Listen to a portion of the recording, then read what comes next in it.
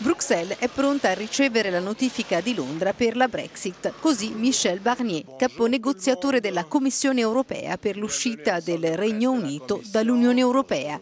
Preserveremo l'unità e l'interesse dei 27 Paesi membri nei negoziati, ha spiegato Barnier, sottolineando che il mercato unico e le sue quattro libertà sono indivisibili.